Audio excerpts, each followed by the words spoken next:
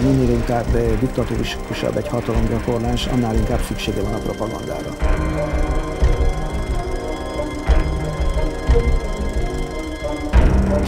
Filmet én nem láttam sem akkor, sem később.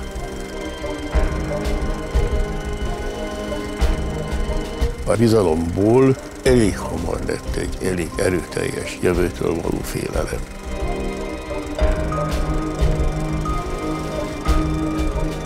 Hogy megvan-e maga ez az anyag, azt nem tudjuk,